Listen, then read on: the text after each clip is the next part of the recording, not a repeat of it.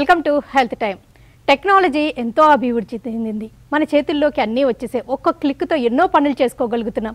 కానీ కనిపించని శత్రువు మన చేతుల్ని కట్టేసింది. ఇప్పుడు ఆ శత్రువుని ఎదుర్కోవడానికి కొత్త కొత్త యాప్స్ని టెక్నాలజీని ఉపయోగించుకోవాల్సిన పరిస్థితులు ఏర్పడ్డాయి. ఈ కరోనా మహమ్మారిని కట్టడి చేయడానికి టెక్నాలజీ ఎంతగా ఉపయోగపడుతుంది? యాప్స్ వల్ల ఎలాంటి ప్రయోజనాలు ఉంటాయి? కరోనా వైరస్కి కొత్త మందులు ఏమన్నా రాబోతున్నాయా? ప్లాస్మా నుంచి ఏమన్నా తయారు చేయగలుగుతున్నారా? కరోనా గురించి మరిన్ని వివరాలు అవగాహన పెంపొందించడానికి global hospitals founder chairman doctor K. Ravindranath గారు మనతో ఉన్నారు. Hello sir.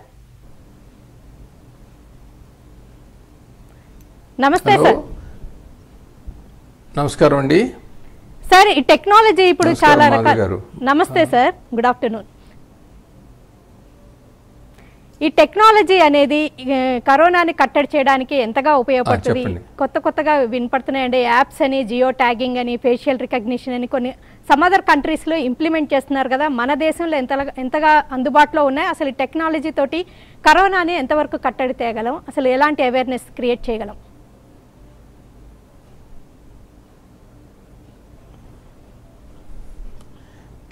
టెక్నాలజీతో చాలా చేయొచ్చండి.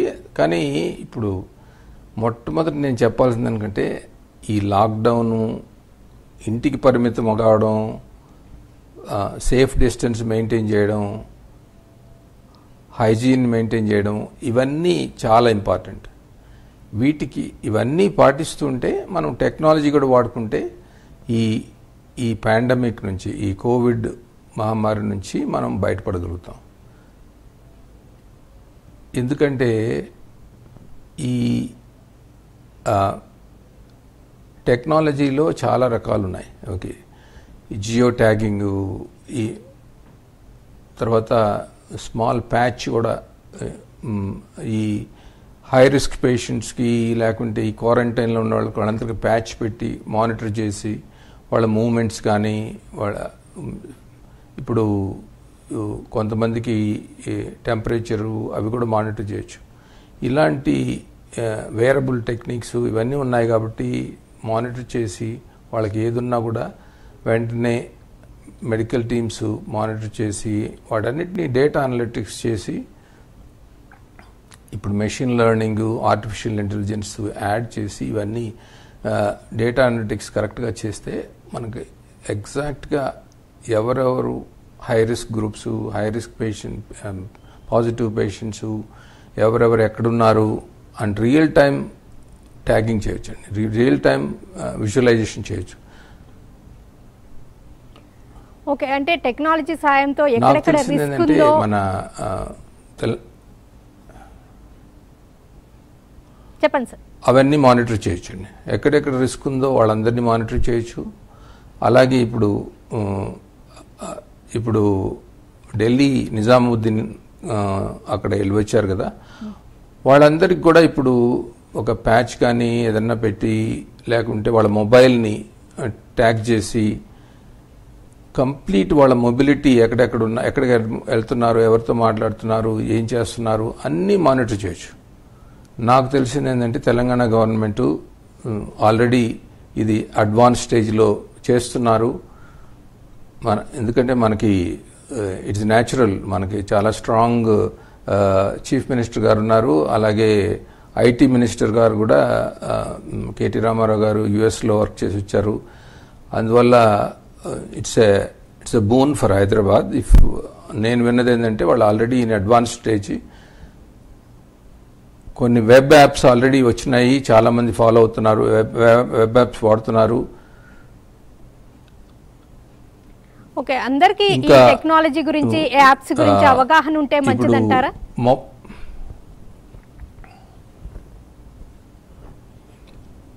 అందరికీ ప్రతి వాళ్ళకి అవసరం లేదండి. ఎవరైతే రిస్క్ హై రిస్క్లో ఉన్నారు అట్లాంటి వాళ్ళకి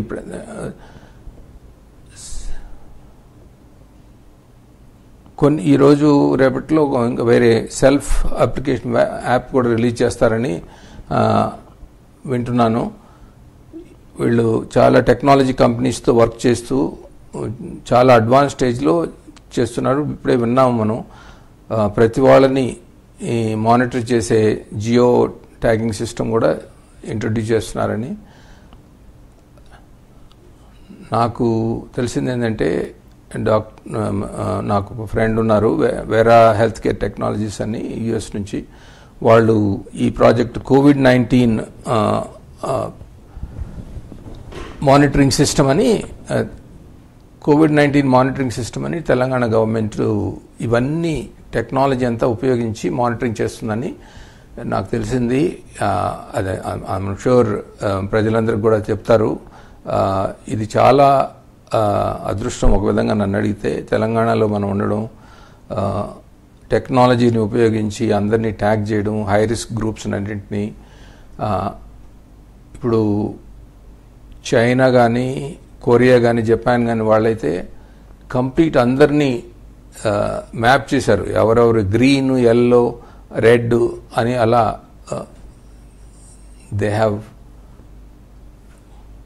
they have in their apps uh, their what is their category on that basis where they can tra- um, travel or where they can move all those things have been uh, defined see those are small countries it's easy to do మన దేశంలో ఎంతోమంది illiterate people ఉన్నారు విలేజెస్లో ఉన్నారు tech ఈ టెక్నాలజీకి అందుబాటు లేకుండా ఆ, అందువల్ల ఇది అంత వైడ్గా మనం వాడలేము ఇండియాలో మనకి మేజర్ కావాల్సింది సెల్ఫ్ డిసిప్లిను గవర్నమెంట్ చెప్పినవన్నీ పాటించి ఈ హోమ్ క్వారంటైన్ లాగా అందరం ఇంట్లో కుటుంబంతో హ్యాపీగా గడపడం చాలా ఇంపార్టెంట్. టెక్నాలజీ తప్పకుండా వాడుతున్నారు మన మన రాష్ట్ర government I'm sure central government కూడా వాడుతుంటుంది. ఇవన్నీ ఒట్టి టెక్నాలజీ మీదనే ఆధారపడితే మన మన లాంటి దేశం one point three billion population చాలా కష్టం. టోటల్గా డిపెండ్ అవ్వలేము సెల్ఫ్ రెగ్యులేషన్ సెల్ఫ్ డిసిప్లిన్ చాలా ఇంపార్టెంట్. ఇంకో పాయింట్ సార్ అంటే సెల్ ఫోన్స్ ఇప్పుడు డేంజరస్ ఇట్ విల్ హెల్ప్. ఇది ఇది హై రిస్క్. సెల్ ఫోన్స్ తోటే కొంచెం ఈ వైరస్ కూడా స్ప్రెడ్ చేసుకుంటే డేంజర్ ఏం కాదమ్మా. సెల్ ఫోన్స్ సెల్ ఫోన్స్ మన దగ్గరే ఉంటుంది కాబట్టి మనం పీరియాడికల్గా క్లీన్ చేసుకుంటూ ఉంటే ఏం ప్రాబ్లం లేదండి. కానీ సెల్ ఫోన్లు వేరే వాళ్ళకి ఇవ్వకుండా తెలియని వాళ్ళకి ఇవ్వకుండా అట్లాంటివన్నీ మనం ఎక్కడంటే అక్కడ పెట్టకుండా ఎక్కడన్నా పెడితే ఇటు క్లీన్ చేసుకునే మార్గం చూసుకోవాలి మనం. అలా చేస్తే సెల్ ఫోన్లోను సెల్ ఫోను మనం క్లీన్గా చేసుకోకుండా అలాగే వాడితే కూడా ఇబ్బంది.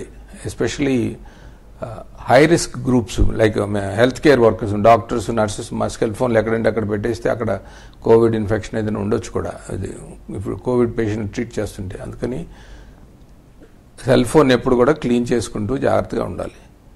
ఓకే అంటే personal things like cell phone monitoring systems అన్ని కూడా మొబైల్ని మొబైల్ని ట్యాగ్ చేసి బాగా మానిటర్ చేస్తున్నారు.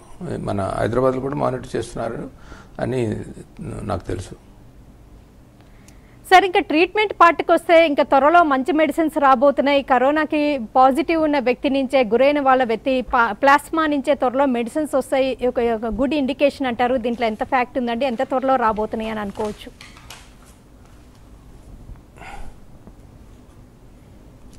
మా కన్వాల్సెంట్ ప్లాస్మా థెరపీ అని అది వచ్చింది. మీరు చెప్పింది కరెక్టే. అది అందరికీ కాదు అది చాలా సీరియస్గా ఉన్న పేషెంట్స్ వెంటిలేటర్ మీద ఉన్న పేషెంట్స్ వాళ్ళు రికవర్ అయ్యేదానికి బాగా ఉపయోగపడుతుంది.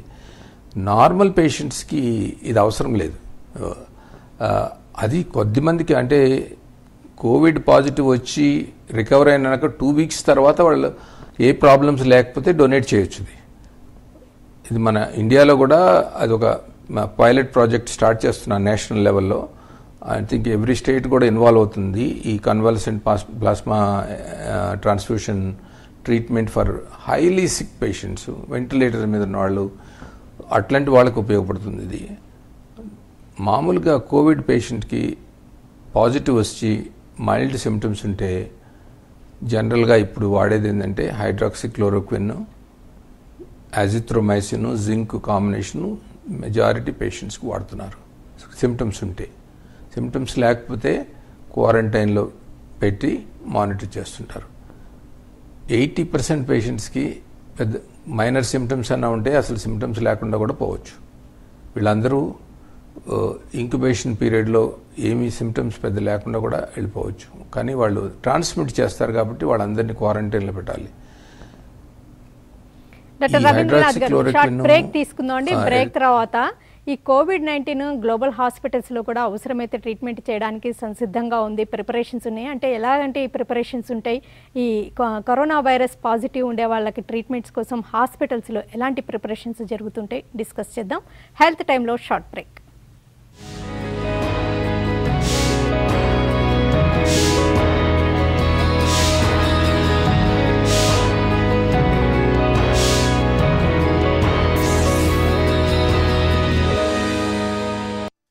Welcome back to health time. Corona కట్టడికి ఈ మహమ్మారిని ట్రేస్ చేసి ట్రాక్ చేయడానికి టెక్నాలజీ ఎంతవరకు ఉపయోగపడుతుంది యాప్స్ వల్ల ఎలాంటి ప్రయోజనాలు ఉంటాయి కరోనాని అంటే కోవిడ్ నైన్టీన్ పాజిటివ్ ఉన్న పేషెంట్స్ని ట్రీట్ చేయడానికి హాస్పిటల్స్లో ప్రిపరేషన్స్ ఉంటే ఎలాగుంటుంటాయి ట్రీట్మెంట్స్లో ఏమన్నా కొత్తదనాలు వస్తున్నాయి ఈ వివరాలన్నీ అడిగి తెలుసుకుంటాం global hospitals founder chairman doctor K. Ravindranath గారిని అడిగి. సార్ ఈ ట్రీట్మెంట్కి కొన్ని హాస్పిటల్స్ని సెలెక్ట్ చేశారు కదండి. గ్లోబల్ హాస్పిటల్స్ కూడా. బాంబేలో ఆల్రెడీ ట్రీట్ చేస్తున్నారు. అంటే వీటికి ఏమైనా స్పెషల్ ప్రిపరేషన్స్ అంటే ఏమన్నా ఉంటాయా?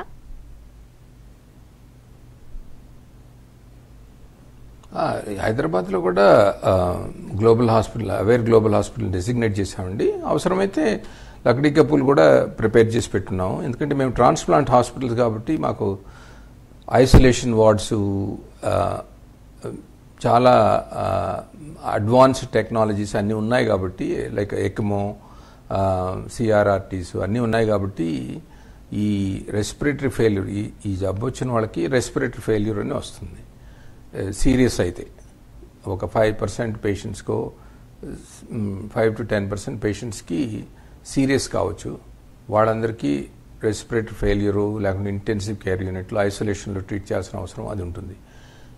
వాళ్ళకి కావాల్సిన ఫెసిలిటీస్ అన్నీ మన దగ్గర ఉన్నాయి కాబట్టి ఆల్రెడీ మేము ప్రిపేర్ చేస్తున్నాము. అవసరమైతే తప్పకుండా మేము ముందుండి అన్నీ చేసేదానికి సిద్ధంగా ఉన్నాము. ముఖ్యంగా ఏంటంటే స్టాఫ్ ట్రైనింగ్ అనేది చాలా ఇది హైలీ కంటేజియస్ డిసీజ్ ఒకరి నుంచి ఒకరికి ఈజీగా వెళ్తుంది. సర్ఫేసెస్ మీద ఈ- ఈ ఈ వైరస్ ఉంటుంది కాబట్టి లేకుంటే దగ్గినప్పుడు మేము లేకుంటే ప్రొసీజర్స్ మేము ఇంట్యుబేషన్ చేసేటప్పుడు బ్రాంకోస్కోపీ చేసేటప్పుడు అవన్నీ స్ప్రే అవుతాయి కాబట్టి వాటన్నిటికి తగ్గట్టుగా పర్సనల్ ప్రొటెక్షన్ ఎక్విప్మెంట్ ఒకటి చాలా ఇంపార్టెంట్. దాంట్లో అన్ని అందరినీ ట్రైన్ చేశాం. అలాగే పేషెంట్ వచ్చినప్పటి నుంచి హాస్పిటల్కి ఎలా హ్యాండిల్ చేయాలి ఏ కే ఏ ఏ కేర్ తీసుకోవాలి సేఫ్టీ మెకానిజమ్స్ ఏమేమి తీసుకోవాలి మిగతా పేషెంట్స్కి వీళ్ళకి ఎక్కడ కనెక్షన్ లేకుండా ఎలా మేనేజ్ చేయాలి? అట్లా మొదట మేము ఒక డ్రిల్ లాగా చేసి ఎమర్జెన్సీ పేషెంట్ వస్తే ఎలా హ్యాండిల్ చేయాలి? ఎమర్జెన్సీ పేషెంట్ వచ్చినప్పుడు మనము చాలా జాగ్రత్త పేషెంట్కి కోవిడ్ ఉన్నదనుకోనే మేము ట్రీట్ చేస్తాం. మనకు ప్రూవ్ అయిన దాకా అన్లెస్ ప్రూవ్డ్ అదర్వైజ్. అలాగా ఎందుకంటే స్టాఫ్ని డాక్టర్స్ని ప్రొటెక్ట్ చేయాల్సిన అవసరం ఎంతైనా ఉంది. వాళ్ళు ఫ్రంట్ లైన్లో ఉన్నారు కాబట్టి వాళ్ళ సేఫ్టీ కోసము ఇవన్నీ ట్రైనింగ్స్ చేస్తున్నాం. తర్వాత మిగతా పేషెంట్స్ ఎవరన్నా ఉంటే కూడా వాళ్ళని కూడా ప్రొటెక్ట్ చేయాల్సిన అవసరం ఎంతైనా ఉంది. సో దానికోసము ఒక సెగ్రిగేటెడ్ వార్డ్ కానీ ఐసీయూ కానీ హై డిపెండెన్స్ యూనిట్ కానీ అన్ని క్రియేట్ చేసాం isolation ward rooms. With negative pressure. ఇవన్నీ కూడా క్రియేట్ చేస్తున్నాం.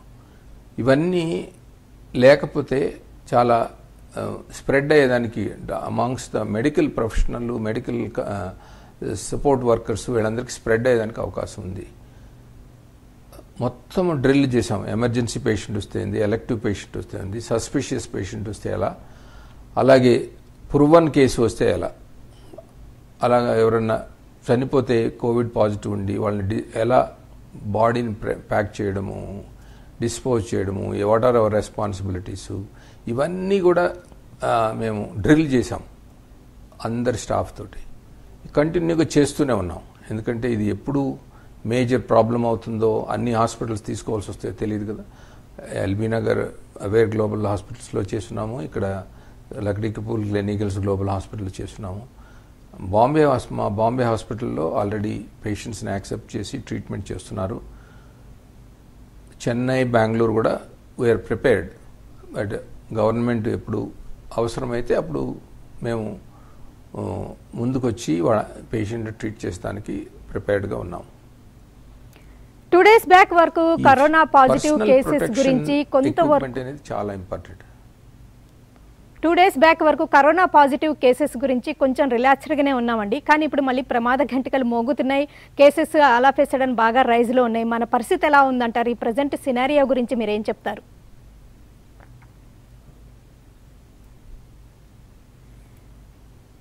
ఏమా ఇది ఇది ఎక్స్పెక్ట్ చేసిందే కొంతవరకు. ఎందుకంటే కొంత కమ్యూనిటీ స్ప్రెడ్ అనేది తప్పకుండా ఉంటుంది. ఎందుకంటే ఇంతమంది అబ్రాడ్ నుంచి వచ్చారు. వాళ్ళందరినీ కూడా గత వన్ మంత్ నుంచి టెస్ట్ చేయలేకపోయాము క్వారంటైన్ చేయలేకపోయాము. కొంతమంది చెప్పకుండా వచ్చేసారు వేరే వేరే దగ్గర దిగి ఢిల్లీలో బెంగళూరులో దిగి రోడ్డు మార్గంలో ఆడ వచ్చేసి ఇళ్ళలో ఉన్నారు. కొంతమంది ఢిల్లీ ఇలా మనం చూసాం కదా ఢిల్లీలో అదేదో ప్రార్థనకి వెళ్ళి అక్కడ ఇంటర్నేషనల్ గెస్టులు వాళ్ళతో ఇంటరాక్ట్ అయితే వాళ్ళ దగ్గర నుంచి ఈ కోవిడ్ రావడం జరిగింది. వాళ్ళందరూ వచ్చి ఫ్యామిలీస్తో కమ్యూనిటీతో ఉన్నారు. ఇవన్నీ కొంతవరకు అవాయిడ్ చేయొచ్చు. మనం మనం సెల్ఫ్ డిసిప్లిను తర్వాత అవతల వాళ్ళకి ఇబ్బంది కలిగించకూడదు అనే మాన మా మైండ్ సెట్ ఉంటే త- తప్పకుండా తగ్గించవచ్చు కానీ కొంతమందికి అవన్నీ అవగాహన లేక లేకుంటే కొంత ఇర్రెస్పాన్సిబిలిటీతోనో జరిగిపో జరిగింది. దాటికి ఇప్పుడు మన గవర్నమెంట్ అందరూ తగిన చర్యలు తీసుకుంటున్నారు. వాళ్ళందరినీ ఐడెంటిఫై చేసి క్వారంటైన్లకు తీసుకెళ్తున్నారు. ఇది తప్పదు. అలాగే కొంత కమ్యూనిటీ స్ప్రెడ్ లేకుండా కంప్లీట్గా ఆపేయడం అంటే అది జరగదు.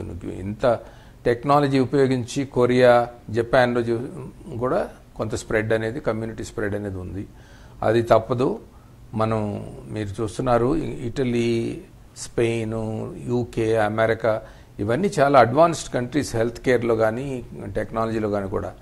కానీ వాళ్ళందరూ కూడా సఫర్ అవుతున్నారు కమ్యూనిటీ స్ప్రెడ్ వల్ల. మన దేశంలో కంప్లీట్ లాక్డౌన్ చేయడం వల్ల చాలా బెనిఫిట్ ఉంది. అవన్నీ మనం ఉపయోగించుకొని మనం డిసిప్లిన్తో ఇది తప్పకుండా మనం కమ్యూనిటీ స్ప్రెడ్ కొంత వచ్చినా కూడా ఆ పీక్ మీకు తెలుసు కదా ఈ ఇది ఎప్పుడు కూడా సడన్ పీక్ కొట్టుతుంది. సీరియస్ పేషెంట్స్ అందరు వస్తారు. ఆ పీక్లో కొన్ని వేల మంది పేషెంట్లు వస్తే హెల్త్ కేర్ సిస్టము తట్టుకోలేదు. అందువల్ల ఈ హెల్త్ కేర్ సిస్టమ్ని ప్యారలైజ్ చేస్తే అప్పుడు పేషెంట్ కేర్ సఫర్ అవుతుంది. మనం మన ఉన్న ఇన్ఫ్రాస్ట్రక్చర్ కానీ మనకున్న ప్రైవేటు ప్రై public infra health care infrastructure కానీ డాక్టర్స్ కానీ టెక్నాలజీ కానీ చాలా లిమిటెడ్గా ఉంది మన లార్జ్ పాపులేషన్కి. అందువల్ల ఇది ఆ పీక్ రాకుండా చూసుకుంటే తప్పకుండా మనం మన హెల్త్ కేర్ సిస్టమ్ కానీ పబ్లిక్ ప్రైవేట్ సిస్టమ్స్ వచ్చిన పేషెంట్లు మేనేజ్ చేయగలవు. ఎందుకంటే ఇది ఇది పాండమిక్. ఇది ప్రపంచమంతా వచ్చింది. మనం అందుకని అస్సలు రాకుండా కట్టడి చే చేయడం అనేది ఇంపాసిబుల్. మనం ఆ పీక్ రాకుండా చేసుకోగలిగితే మనం మన గవర్నమెంట్లు కానీ మనం కానీ అందరూ సక్సెస్ఫుల్గా ఈ పాండమిక్ని తట్టుకున్నట్లు లెక్కండి. కరోనా పాజిటివ్ కేసెస్ సంఖ్య. పెరుగుతుంది. ఇది కొంచెం వరకు అందరూ కంగారు పడాల్సిన అవసరం లేదు. కరోనా పాజిటివ్ కేసెస్ సంఖ్య పెరుగుతుంది. ఇది కొంతవరకు ప్రిడిక్టెడే ఇలా జరుగుతుంది. అండ్ పాండమిక్ కాబట్టి మనం అంతగా కట్- కంట్రోల్ చేయలేము. సంఖ్య కూడా పెరుగుతుంది. మరి టెస్ట్ చేయడానికి టెస్టింగ్ కిట్స్ అవైలబిలిటీ ఎలా ఉందంటారు? అంటే నెంబర్ ఆఫ్ కేసెస్ పెరిగే కొద్దీ మన దగ్గర అన్నీ ఉన్నాయా? అండ్ వెంటిలేటర్స్ గురించి ఏం చెప్తారు? అంటే ముందు ముందు అవి కూడా చాలా అవసరమయ్యే రిస్క్ కూడా ఉంది కదా.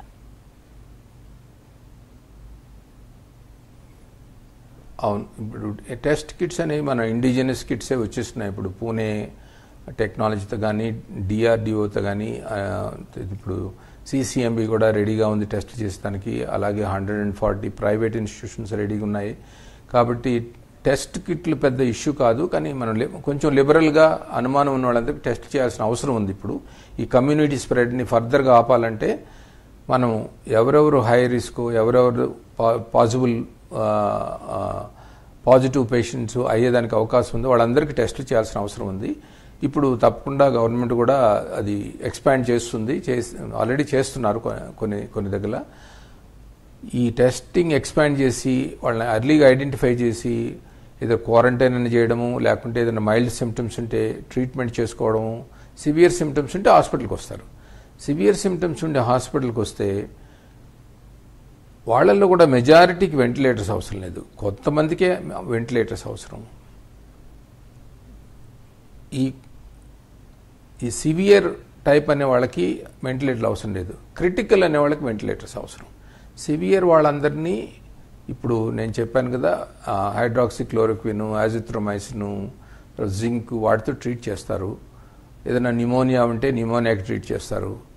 అలాగే గ్యాస్ట్రో ఇంటెస్టైనల్ ప్రాబ్లమ్స్ డయేరియా అవి ఉంటే వాడికి ట్రీట్ చేస్తారు. వాళ్ళకి మంచి న్యూట్రిషియస్ డైటు ఆక్సిజన్ అవసరమైతే ఆక్సిజన్ ఇస్తారు. వీటితోని చాలా వరకు చాలామంది ఇంప్రూవ్ అవుతారు. అలా కాకుండా క్రిటికల్ అయ్యి వెంటిలేటర్ మీద పెట్టాల్సి వచ్చి కిడ్నీ ఫెయిల్యూర్ వచ్చి హార్ట్ ఫెయిల్యూర్ వచ్చి లేకుంటే హార్ట్ రిథమ్ చేంజెస్ వచ్చి వాళ్ళందరినీ క్రిటికల్గా ఐసోలేషన్ యూనిట్స్లో పెట్టి అడ్వాన్స్ టెక్నాలజీస్తో ట్రీట్ చేయాల్సి ఉంటుంది. ఇనిషియల్గా వెంటిలేటర్స్ వాటితో ట్రీట్ చేస్తారు. అలా కొంతమందికి ఎక్మో అని ఎక్స్ట్రా కార్పొరేట్ మెంబ్రెయిన్ ఆక్సిజనేషన్ అని ఆ- ఆ ఎక్విప్మెంట్ వాడాల్సి వస్తుంది. అది కొంతమందికి కిడ్నీ ఫెయిల్యూర్ ఉన్న వాళ్ళకి సిఆర్ఆర్టీ అని వాడాల్సి ఉంటుంది. ఇవన్నీ టెక్నాలజీ ఆల్రెడీ ఉన్నాయి మన దేశంలో. మోస్ట్ ఆఫ్ ద మేజర్ హాస్పిటల్స్లో ఉన్నాయి. మేజర్ గవర్నమెంట్ హాస్పిటల్స్లో కూడా ఉన్నాయి. అందువల్ల అంత మేజర్ వరీ కావాల్సినది ఇది ఒక్కసారి ఎక్కువ నంబర్లు వస్తే తట్టుకోలేము. దానికోసమే ఇవన్నీ లాక్డౌను టెక్నాలజీ ఉపయోగించడం ప్రజలకి అందరికీ అవగాహన నేర్ మీడియా కానీ డాక్టర్స్ కానీ పోలీస్ కానీ గవర్నమెంట్ కానీ అందరూ కూడా ఈ ఇది ఒకేసారి ఎక్కువ రాకుండా చూసేదానికి చేస్తున్నారు మెయిన్గా. ఆ కోవలో మనము నంబర్ ఆఫ్ పేషెంట్స్ అఫెక్టెడ్ కూడా బాగా తగ్గిపోతారు. నంబర్ ఆఫ్ పేషెంట్స్ ఈ కోవిడ్ పాజిటివ్ వచ్చేవాళ్ళు కూడా బాగా తగ్గిపోతారు. అప్పుడు మన హెల్త్ కేర్ సిస్టమ్ ట్రీట్ చేయగలదు. కొంతకాలం అలాగే జరిగితే తప్పకుండా మన ఈ ఈ పాండమిక్ నుంచి బయటపడతాం మనం. కొంత ఇమ్యూనిటీ డెవలప్ అవుతుంది. సార్ మీరు చెప్పే పాయింట్ సొసైటీలో ఇమ్యూనిటీ డెవలప్ అయ్యి తర్వాత ఈ లాక్డౌన్ టైం సమర్థవంతంగా ఎదుర్కొంటే తర్వాత. చాలా మందికి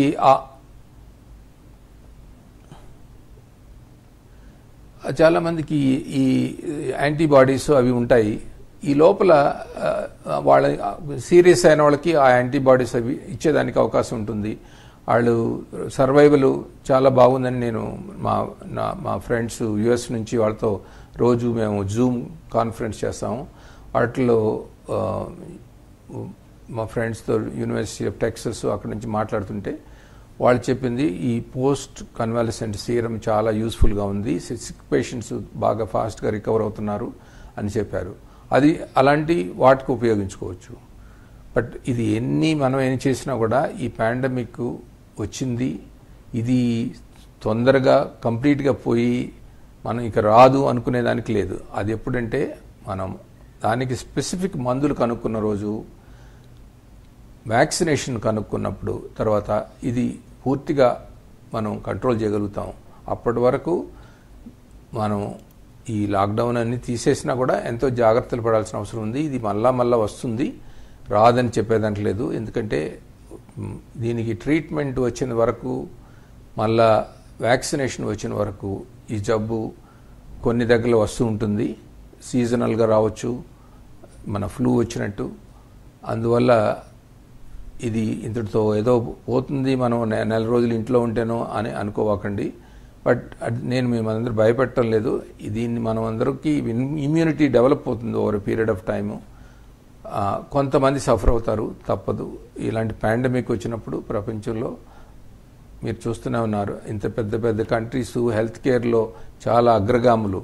వాళ్ళే సఫర్ అవుతున్నారు. మన దేశం సఫర్ కాదనుకునేదానికి లేదు.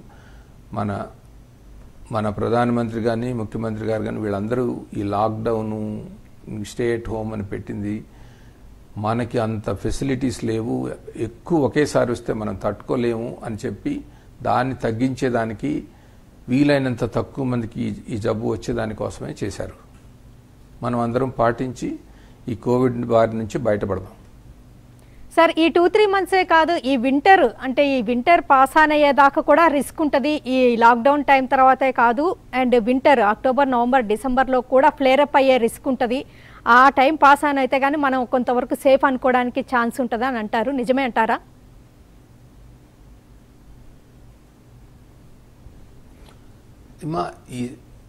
మనకి ఈసారి మళ్ళీ ఇంకొక ఇంకొక సారి ఇది ఈ జబ్బు వచ్చేటప్పటికి చాలామందికి ఇమ్యూనిటీ ఉంటుంది. వచ్చిన వాళ్ళు అంటే చాలామందికి సిమ్టమ్స్ లేకుండా కూడా ఇది జబ్బు వచ్చే వెళ్ళిపోవచ్చు. వాళ్ళందరికీ ఇమ్యూనిటీ ఉంటుంది. అటువంటప్పుడు పెద్ద ఇష్యూ కాదు. ఈ కమ్యూనిటీలో ఇమ్యూనిటీ డెవలప్ అయితే నంబర్ ఆఫ్ పీపుల్ ఎవరెవరికి వచ్చేది వాళ్ళు కొంచెం తక్కువ మందికి వస్తుంది. కానీ ఈ ఇప్పుడున్న ఎక్స్పీరియన్స్తో అప్పుడు ప్రజలు కూడా జాగ్రత్తగా ఉంటారు కాబట్టి హై హైజీన్ లెవెల్స్ కానీ ఈ హ్యాండ్ వాషింగ్ కానీ ఫేస్ మాస్క్ వేసుకోవడం జలుబు ఉంటే ఇట్లా ఇలాంటి ఇలాంటివన్నీ ఇంట్రొడ్యూస్ చేస్తే ఆటోమేటిక్గా చాలా తక్కువ మందికి వస్తుంది ఇది. తర్వాత ఎయిర్ క్రాఫ్ట్స్లో ఇక్కడ ఏసీ బస్సుల్లో వాటిలో ట్రావెల్ చేసేటప్పుడు జాగ్రత్తలు తీసుకోవాల్సినవి జాగ్రత్తలు తీసుకోవాల్సి ఉంటుంది. సో అలా తీసుకుంటే ఈసారి వచ్చే ఇంత పాండమిక్ లాగా రాదు. ఎందుకంటే కొంతమందికి వస్తుంది కొన్ని ఏరియాస్లో వస్తుంది. అది కంట్రోల్ చేయగలుగుతాం. బహుశా ఇంకొక six nine months twelve twelve మంత్స్లో డెఫినెట్గా మందులు వస్తాయి. ఇంకా ఇంకా ముందే మందులు వచ్చేదానికి అవకాశం ఉంది. వ్యాక్సినేషన్ మాత్రం కొంత టైం పట్టొచ్చు. వన్ ఇయర్ దాకా టైం పట్టచ్చు. ఓకేనండి డాక్టర్ రవీంద్రనాథ్ గారు. టెక్నాలజీ అనేది కరోనా కట్టడికి ముందు ముందు ఎంతలా ఉపయోగపడుతుంది? అండ్ టెక్నాలజీని ఉపయోగించుకొని కొంతవరకు ఎలాగ దూరం ఉంచగలము? అండ్ క్రిటికల్ కేర్లో ఉండే వాళ్ళకి ఆ ట్రీట్మెంట్స్ తీసుకునే వాళ్ళకి ముందు ఈ ప్లాస్మా నుంచి ట్రీట్మెంట్స్ ఎలా అందుబాటులో ఉంటాయి? అండ్ కరోనా కట్టడికి ఈ లాక్డౌన్ టైంలో మనం ఎంత జాగ్రత్తగా ఉంటే మంచిది? వివరాలను అందించినందుకు థ్యాంక్స్ ఎలాటండి. ఇది ఇవాళ హెల్త్ టైం. నమస్తే.